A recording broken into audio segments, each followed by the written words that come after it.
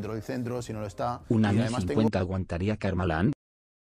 Sí, sí, sí. Le quita los saderes y tirando. ¿Qué pasaría si se lo gana una chica? Sería la primera chica en Karmaland. Mm, chicas no metemos en Karmaland. Somos todos misóginos. Eh, bueno, tengo hinting,